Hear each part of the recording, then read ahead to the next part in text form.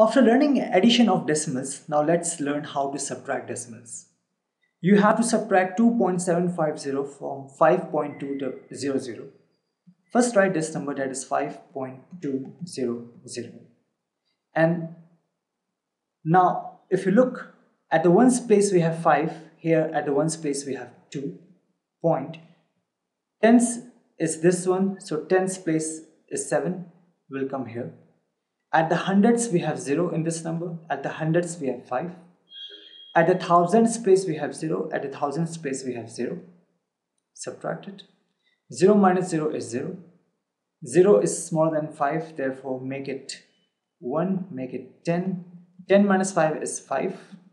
1 is smaller than 7, therefore make it 4, make it 11. 11 minus 7 is 4. 0.4 minus 2 is 2 so 2.450 is the answer. You have to subtract 1.070 from 5.350. So 5.350. So this is the ones place. This is the ones place. So 1 will come here. Point. This is the tens place. This is the tens place. 0 will come here. This is the hundreds place. This is the hundreds place. This is thousands place. This is thousands place. Subtract it.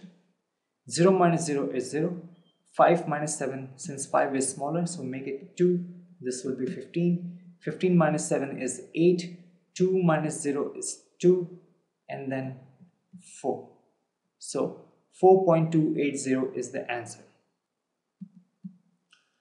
You have to subtract 3.6 from 9.873 so first write this number that is 9.873 then at the ones place you have 9, at the ones place you have 3. So write the ones together, then write tens together. So 8 and this is the tens place 6.